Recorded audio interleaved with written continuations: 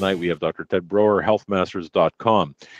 An issue with uh, doctors in Florida succumbing um, under mysterious circumstances. Oh, but it's not on the major media.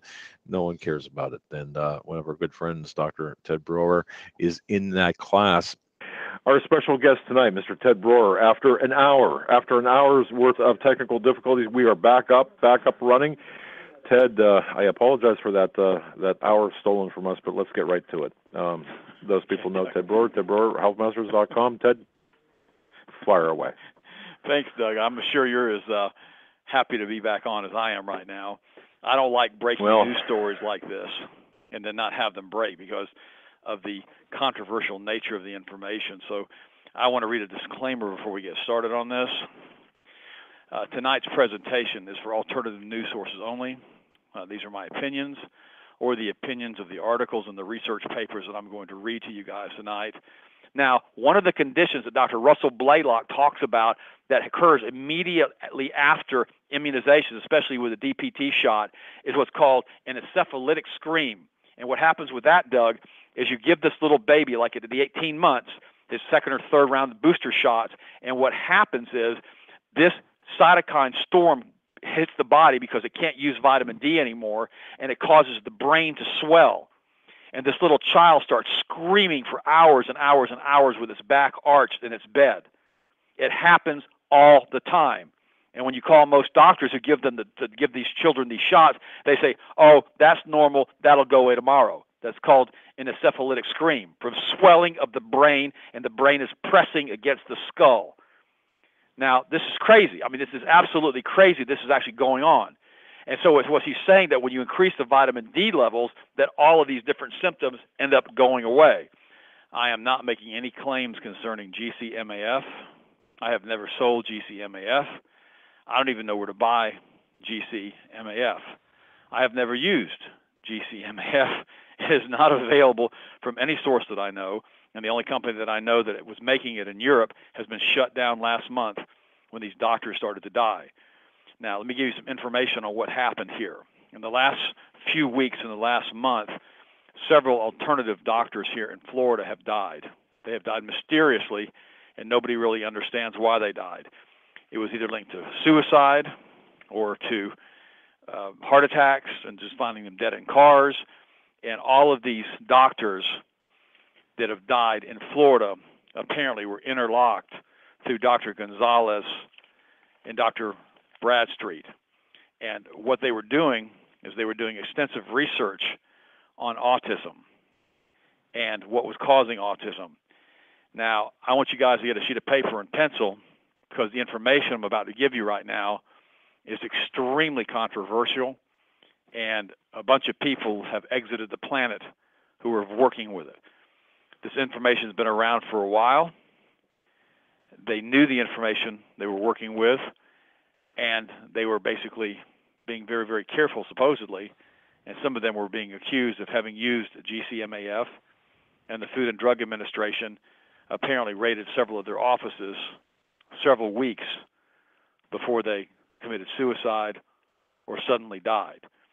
Now, let me share something with you very quickly on what this is.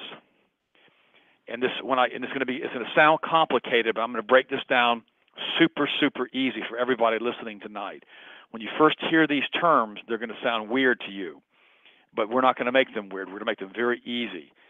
GC protein is a protein in the body that is used by macrophages in the body. And what it does, macrophages in the body are the ones that kill cancer cells. They basically stop cytokine storms and can be involved in cytokine storms. We'll explain what all these terms mean in a few minutes. The GC protein in the body adds vitamin D to it. Doug, how many times have I told the listening audience you have to take vitamin D every single day? That's super oh. important. Oh. And, and we've got another bunch of notes, too. We're going to talk about the other ways that they're doing things to us to reduce the population of the planet.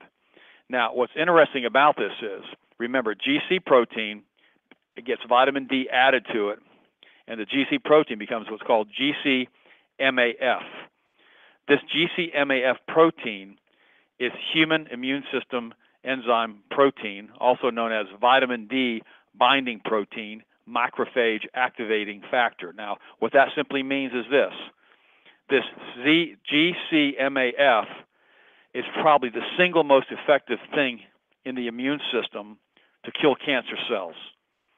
And what's happening is the immune system is being compromised by a product called nagalase. It's an enzyme slash protein, and it's made by cancer cells and viruses, causing immunodeficiency syndromes. It's also been linked to autism and a host of other problems we're going to talk about tonight. Now, what ends up happening is this when this GC protein cannot be converted to the GCMAF protein, the entire immune system is compromised. What these doctors found was this that this nagalase protein enzyme they felt was being introduced into the body either virally or directly through immunizations. This is the protein power, this is the enzyme protein that destroys the immune system. I'm going to repeat this. Apparently, since these guys are dead and I can't talk to them, they have found that the nagalase enzyme protein that was made by cancer cells and viruses, which causes immunodeficiency, is being added through the immunizations, either through viruses or through the immunization itself being given nagalase. This is such incredibly damning information to the entire medical profession and the immunological profession and those folks that are producing immunizations that apparently they didn't want these guys around. Now, I'm not saying what happened to these guys, I'm just saying they're not on this planet anymore. So, what ends up happening is this the GC protein cannot attach itself to vitamin D because of the nagalase. When that happens, the nagalase becomes the agent that causes the cancer. Now let's talk about nagalase for a second. Now we know that nagalase is being found in super high concentrations in autistic children. And what they're saying is that the nagalase protein, this viral protein, was not in these children at childbirth, but it's being introduced somehow into these children. They felt during the immunization process. Now, again, I wasn't involved in their research. I haven't seen the, the double blind clinical studies. I'm going to read you some information on nagalase.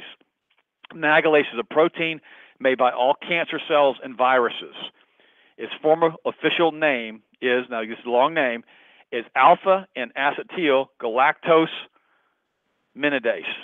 But let's just call it nagalase for this tonight. Now, nagalase causes immunodeficiency. It was being found in children being diagnosed with autism in high concentrations.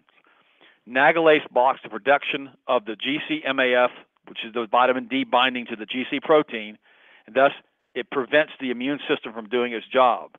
Without an active immune system, cancer and viral infections can grow unchecked. As an extremely sensitive marker for all cancer, nagalase provides a powerful system for early detection. Serial nagalase testing provides a reliable and accurate method for tracking the results of any therapeutic regime for cancer, AIDS, or other chronic infections. This is an article from a book from Dr. Tim Smith, MD. He goes on to say, and this is super important now, guys, listen to me on this. He says that nagalase is like a stealth bomber.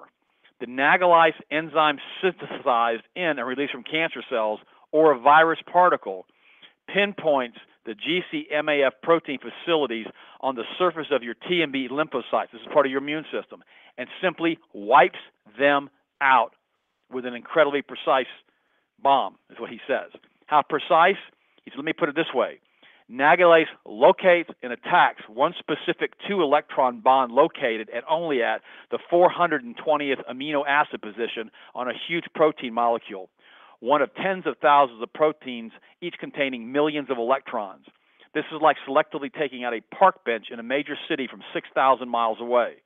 More astonishing, if that is possible, nagalase never misses its target. There is no collateral damage.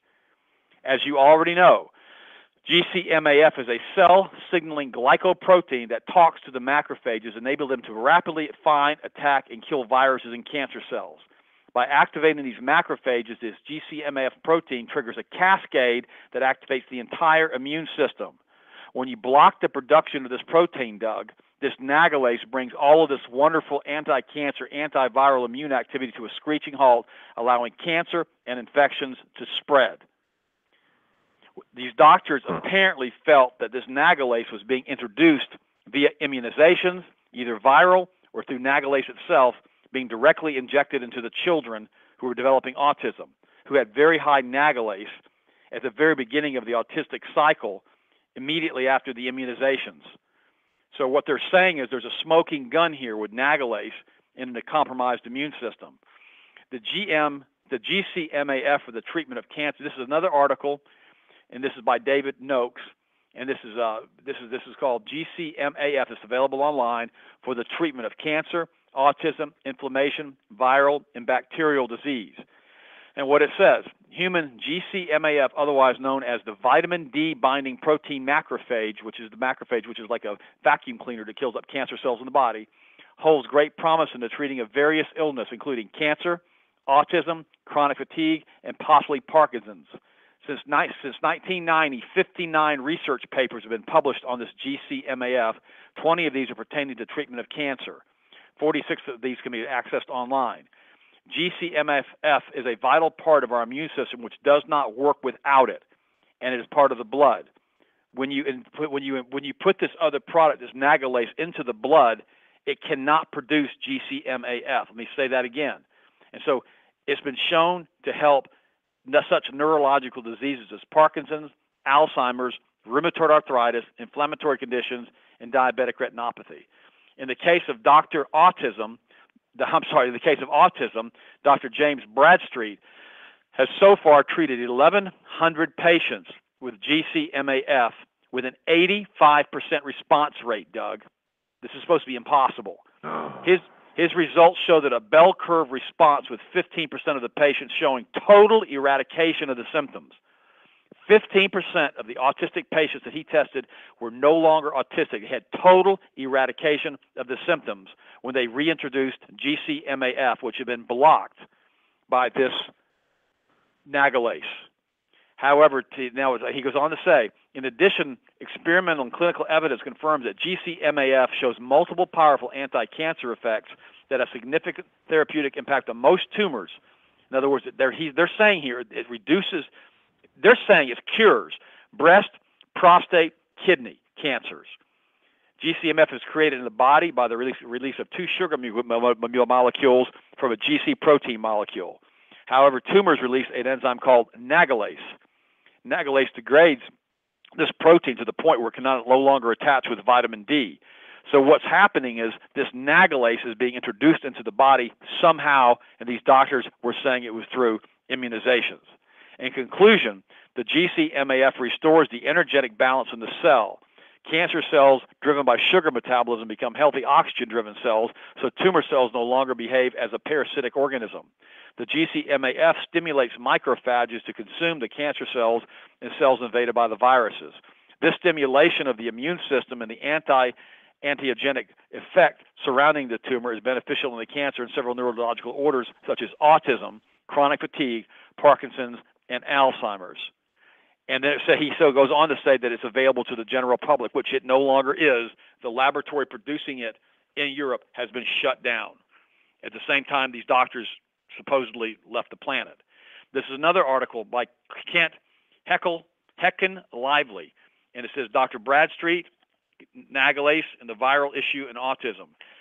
He says in this article he wrote, in the past months, Dr. Bradstreet has become interested in Nagalase which he describes as an enzyme produced by cancer cells and viruses. He thinks it unlikely that children with autism have undiagnosed cancers, and thus suspicion falls into the viral etiology. Dr. Bradstreet writes Viruses make the nagalase enzyme as part of their attachment proteins. It serves to get the virus into the cell and also decreases the body's immune reaction to the virus, thereby increasing the odds of survival. He goes on the right. It is reasonable and likely that the nature of the immune dysfunction and, sub, and, and, the, and the frequently observed autoimmune problems in autism are mediated by persistent unresolved viral infections. He claims to have tested approximately 400 children with autism for the viral marker nagalase and found nearly 80% have significantly elevated levels. He hopes to publish this article and these, this information soon. Of course, we know he's not going to do that because he has left the planet. He goes on to go. He goes on to say that, that this, I'm going to I'm going to keep reading, and then I'm going to then we're going to do some other stuff because I, I want to get this information out. This is this is a straight article, and it's from the role of type D to vitamin D and type 2 diabetes. The role of the vitamin D and type 2 diabetes. Now, uh, now you say, what does this have to do with autism? Listen to what it says. In recent years, researchers have linked low level of vitamin D levels to insulin resistance and diabetes. Overcoming insulin resistance in particular could be the way to head off type 2 diabetes before it sets in.